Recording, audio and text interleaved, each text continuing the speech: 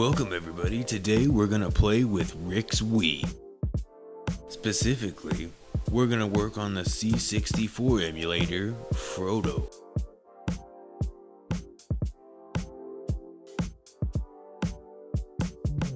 As we start, we hit the home button and change the options to the port of USB. To insert our disc.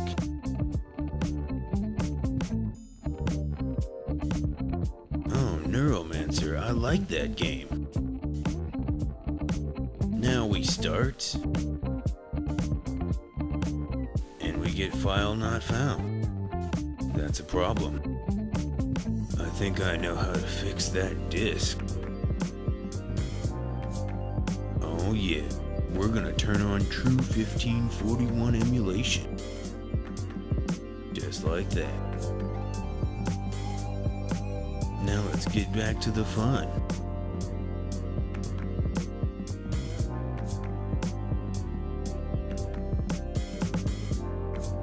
Oh, that's what I like to see. Loading. Oh, yeah. Good old fashioned, squirrely, loading screen with the fuzz. I'm getting all hot and bothered just waiting for it.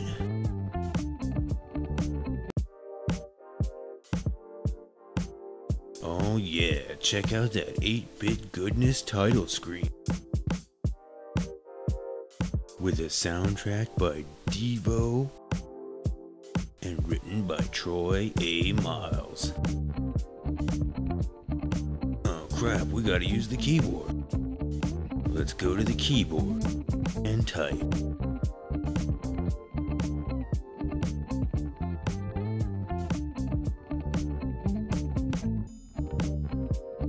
Oh man, we gotta do it again. Enter your name.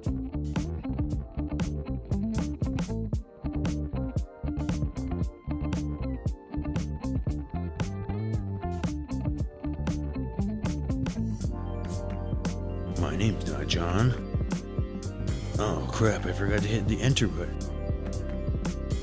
Back to the keyboard so we can hit return.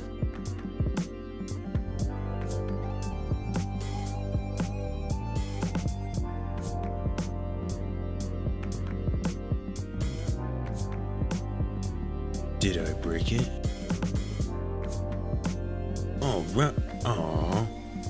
Put side 2 in. That means I've got to insert another disc.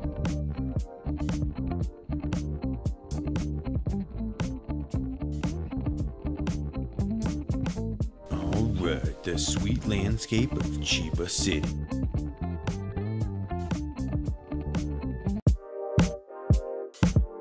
And look, it's Ratz. Too bad I don't have the code wheel, which Interplay used as copyright protection in this game. Think I'm gonna have to go download that.